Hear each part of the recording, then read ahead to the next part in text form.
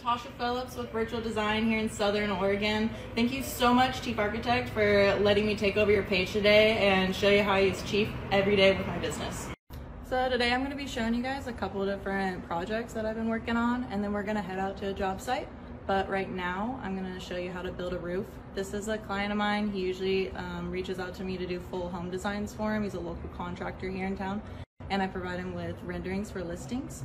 Today though, one of his clients just needs their roof designed and they want to get some visuals to see what their house is going to look like. So we're going to provide him with that and I'm going to show you right now how I do that.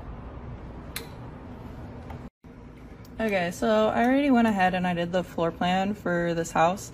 And what I usually do for the roofs is actually always, I'll do auto build first and then I'll modify as I need, but I try to do as much as I can with the auto build. So what I do is I'll go through and I'll select all the walls that need to be hips and gables, which I've already done here. And then after I've done that, uh, we'll go ahead and click build and roof, build roof, and build roof planes, auto build roofs. We want a eight pitch. Click OK. And this plan is pretty simple, so we didn't have to make too many modifications. All I had to do earlier was break the roof plane right here just to make this gable and go all the way back.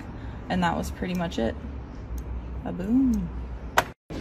Okay, so I'm just trying to fancy this up a little bit, make it look pretty, and we're gonna add some posts in here. I put some shingles, and we're gonna go back to the floor plan to add posts. I'm gonna click on the framing post, four by four. I actually want this to be six by six. So if you click on it, hit tab to change the selected item, open or control E, and then we're gonna change the width to 5.5 inches, 5.5 inches. There we got our six by six posts.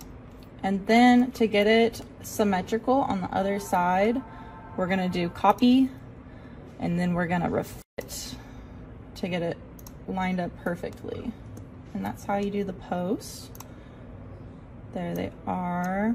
I did that on the front already. And then I changed this vault um, with just doing a manual ceiling planes and then I connected them just so it could be a different pitch than the roof planes. And yeah, looks pretty good. Oh, and then I did these truss accents too, which I just downloaded from the manufacturer catalog or this bonus catalog on the Chief webpage. Super easy to do. They have tons of stuff on here. I'm always downloading from this library and then pulling it into my Chief files. So I didn't really go into detail too much on that one for the visuals. Um, that was more of like a roof design and then I'll send them some elevations for that.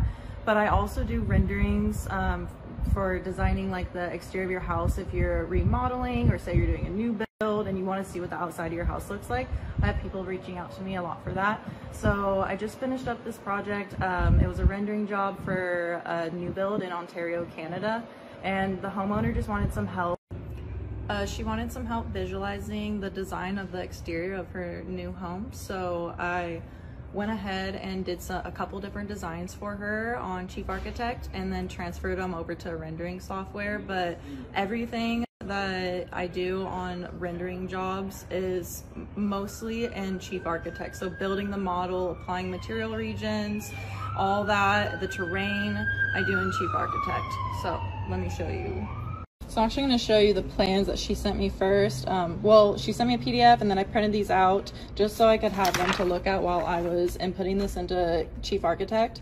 Um, there was just a couple changes, like this entryway changed and that was it. Um, brought it over to the computer and this is what we're working with out of Chief before sending it to any rendering. Um, we got some color coding going on for different materials I could potentially pull out. Put,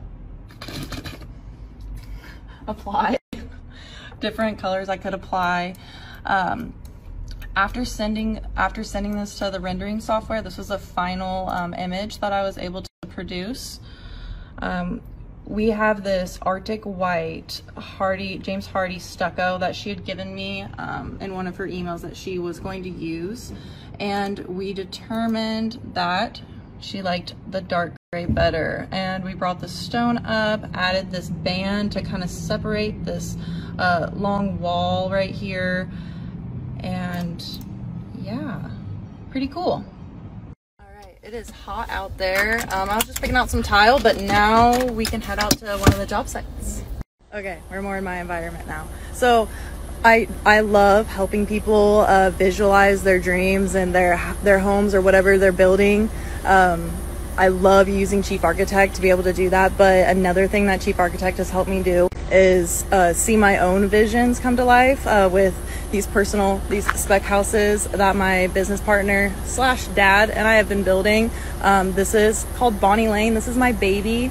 Um, where this one's in the finishing stages. I'm gonna show you here in a minute. Um, like we're getting the cabinets in, countertops, appliances, light fixtures, plumbing fixtures, all that. And I've been able to visualize it all through Chief, which has helped me so much with the whole process and production of this house. So I'm gonna go show you.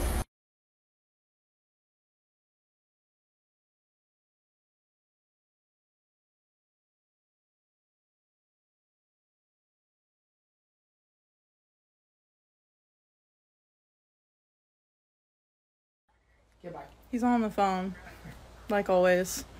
All right, Dad, I'm trying to introduce you. Okay, so not a one man show. This guy right here has helped me learn everything I know about building houses. Um, he got me into Chief. How long have you been using Chief? Oh, I think since about 1997, 98. There you have it. So I got the updated version. He used the old one. Now I do all the computer work and he does the building. I say sorry. En español se dice con permiso. Con permiso.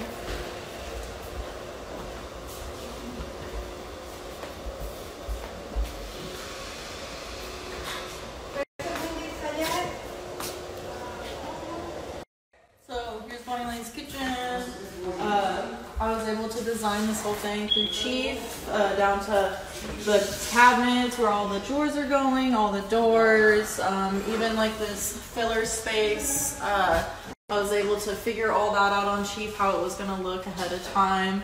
These these uh, full length uppers. And all of this, um, I was able to make cabinet schedules and communicate with all the subs very clearly, even like the countertop place, Granite Mafia Medford, they're awesome. This custom hutch, so cool, exactly what I envisioned and brought to life through Chief.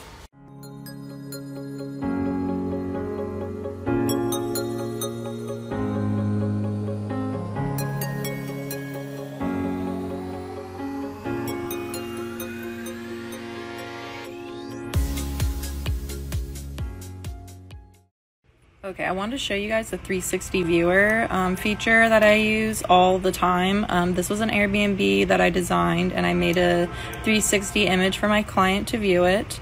And basically, what you do is you find the camera spot that you want to be viewing the room.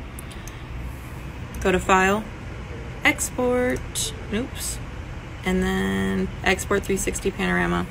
And when you do that, follow the steps, it'll take you, um, you have to be logged on to your account on Chief Architect and it'll show up in here. Look, I have all these other ones. You can view it and you can send it to your clients. How cool is that?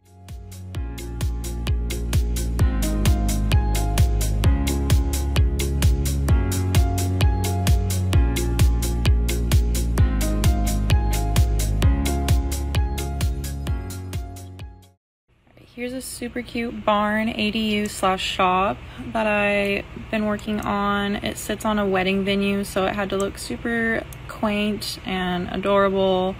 I'm gonna take you inside of it.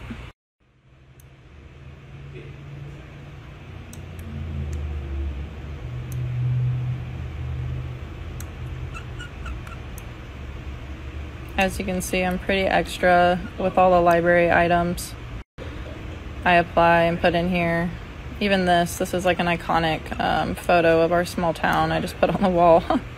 I'm so extra. Um, I'm always finding cool uh, materials to apply, like my countertops, backsplash, like even all the hardware and all these cute little things on the counter. I mean, it's it's the click of a button away right there. Like, why not? I love it. It's my favorite thing to do, making these spaces look pretty and appealing. Okay, I got one more thing to show you guys. Um, so if you ever do remodels, stay tuned. Watch this next clip. All right, guys, uh, this is a remodel that I got going on right now. Um, this is the as-built, so this is the existing house. This is the back of the house, but we're turning it into the front. And here's the exterior with this new entry and pergola. Most of the remodel was done on the inside. We took out a bunch of walls and changed a lot of stuff around. So I wanted to show you guys uh, something that I did to make it a little bit more clean and easier to understand and grasp um, with the layout page. So here's my remodeled floor plan. Looks pretty clean, but you know, it can be kind of unclear of where the walls used to be exactly. So if you use the reference display, tool right here, look at that. I can see all the walls that we took out and what's been changed. And I did that simply by changing, instead then having this be my second floor, I changed it to the as-built and I changed the layer set to what I wanted to display. And so whenever I turn my reference display on, I'm able to see that and that that's been beneficial for not only me but explaining to my clients look this is this is what you got going on and this is what we're gonna do. All right and that will conclude today's design takeover with virtual design by natasha. I am out of here. I'm going home. Uh, thank you so much chief for having me. Thank you everyone for tuning in. Thank you for all the comments questions compliments. Please message me on my business page if you have any more questions or anything and i'll try my best to answer them thanks again chief